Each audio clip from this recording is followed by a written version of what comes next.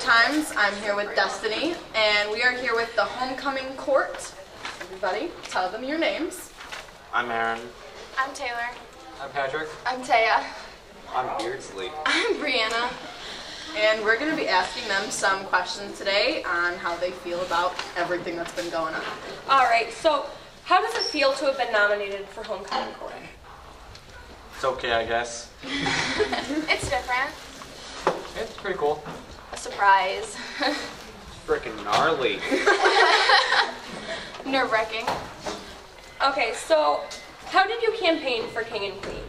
I just put a lot of posters and just everyone voted for me.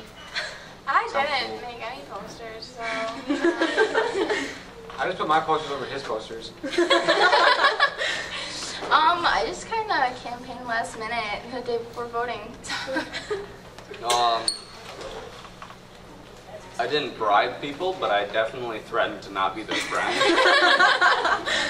Um, uh, same as Taya, I uh, like last minute just hung up posters and really like put it out like a lot of posters, put it out there.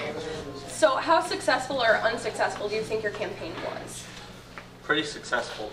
Uh, like I said, I really didn't do much, so.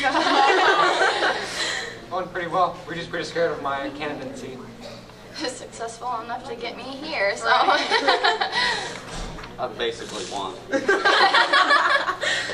Um, successful enough to land us in the court, so pretty good so far. All right, and why should the students vote for you? Because I have gray hair. Um, I don't know because it's my last year. My last year, I'm better than Beardsley. I'm not four eyes, so. Um, uh, we both have glasses. Vote for me can't because I can uh, show you school spirit and show you the way. You, you just should. Um, I super duper never had this opportunity before because I'm super lame and no one likes me. So, but um, you should vote for me if you're a human and you can breathe. What made you want to run for the court?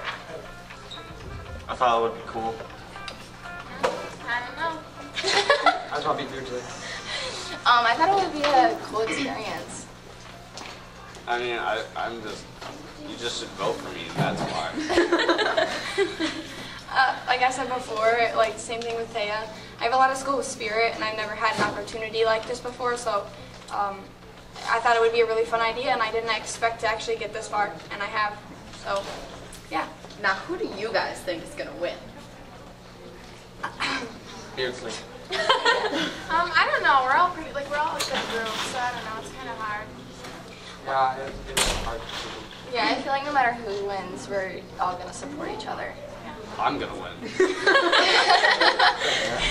Um, it, it kind of varied. Like in the beginning of the week, I definitely saw like Taya and Patrick winning because they were like the most like posters put out there. And then Taya joined last, or Taylor joined last minute. Sorry, apologies. And I got like a little nervous. I was like, oh my gosh, she's cooler than me. She's definitely gonna win. but it's as far as right now goes, I really, I don't know. It could be really any of us. Like, It's in the air. yeah, we miss Basel for all we know. for real. Well, thank you guys for your time. Thank you. All right, and thank you for joining us at the Patriot Times Live. Don't forget to meet us at the football game this Friday at 7 o'clock at the Grayling football field, and we will see you next time. What do you think?